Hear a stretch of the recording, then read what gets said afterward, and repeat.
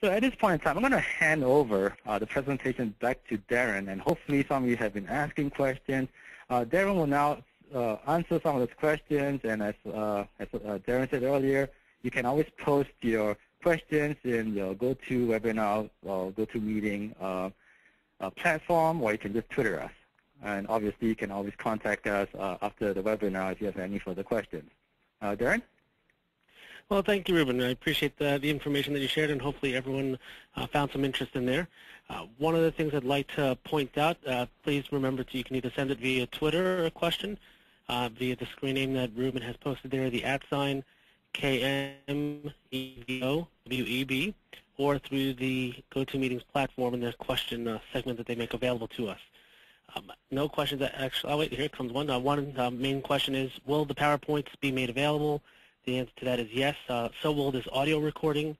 We will send out a follow-up email at the close of this uh, webinar with links to the audio and to the PowerPoint presentation. They'll be downloadable through Cologne Messe and also through Evolution Point's websites. Uh, one of the things I would like to point out as far as effectiveness, if you can use a, an actual example, wasn't directly from a trade show, but something that Dell has been experimenting in how to utilize Twitter in the scope of their overall sales, it doesn't amount to much for them, but they've used Twitter to generate $3 million in revenue uh, specifically tracked through, the, through their account that they use. What does it mean to Dell overall? I think it came out in the article I was reading about $2 per Twitter feed, uh, per Twitter person that they actually have that follows them.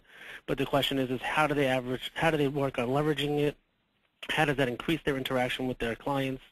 Um, and I think the more important note, and this is an article just from last month, that in the last six months they did a million dollars in revenue alone. And then when you think about what does that mean for you and your trade show booth, how can you translate that uh, to success for your company? Uh, question was just sent in here.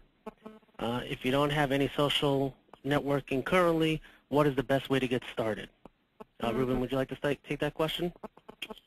Sure. Um, it really depends. Again, I think the best way to do it is to first define what you're trying to achieve. Like I said, it's all driven by the strategy. Um, the way to start, I, I, always encourage people to, to take a look at your competitors because the way to start it is to look at what your, your direct competitors are doing and see, and hopefully they will have some precedence on how to use social networking. I'm not saying that your competitors are better than you, but I think it's easier to learn from other people's mistakes and other people's successes. Um, I would definitely start. Uh, I'll definitely start by asking the question, you know, how, why you're doing it, uh, and what the achievement goal. Because once you have all that, and then uh, understanding the tools, you try to apply to it. Uh, like I said, the most common uh, social networking tools that most people use across the board is Facebook, uh, MySpace, LinkedIn, and Twitter, obviously, which is why we spend so much time on it. Does that answer the question? I, I think so. The only piece I would uh, add to that, since Cologne Messe specializes in international events, is to then think what audience you're trying to reach. If you're mm-hmm. going to one of our trade shows that are based in Cologne, Germany, you might then look at some of the other alternatives that uh, Ruben had posted earlier in the presentation for social networks that are larger within the within that country in that particular target market. So any other uh, questions here? Just check on the Twitter feed and we'll see if anyone else has anything they'd like to ask.